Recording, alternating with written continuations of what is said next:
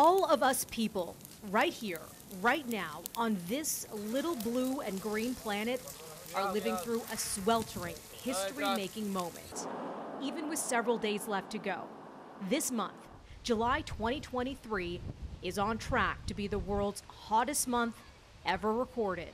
It will be the warmest in our observational record and probably way past that point. This climate scientist is part of the team at Germany's Leipzig University, which released a temperature report on Thursday that shows this month's mean global temperature is projected to be at least 0.2 degrees Celsius warmer than July 2019, the former hottest in the 174 year observational record. Usually, a temperature record occurs during El Nino years, and that's what we are just seeing. But the fundamental reason is our human induced emissions of greenhouse gases.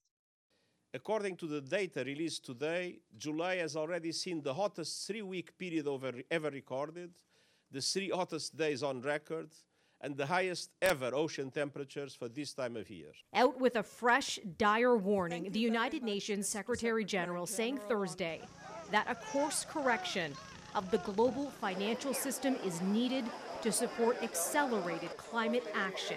Climate change is here, it is terrifying, and it is just the beginning.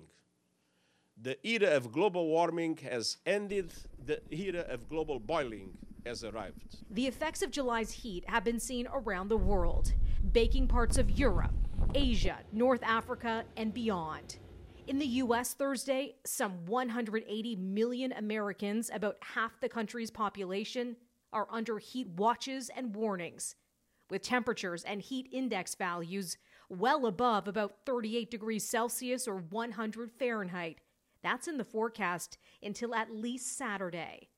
The biggest U.S. electric grid operator, PJM Interconnection, it's issuing an emergency alert. The company that oversees supply in about 13 states, enough for about 65 million people, it's calling for all of its systems to be online due to heightened demand.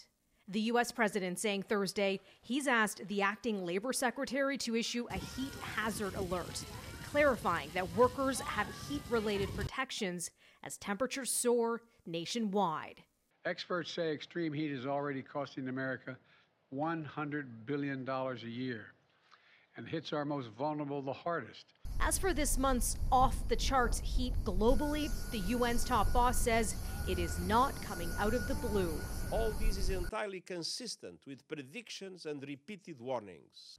The only surprise is the speed of the change. Melissa Duggan, City News.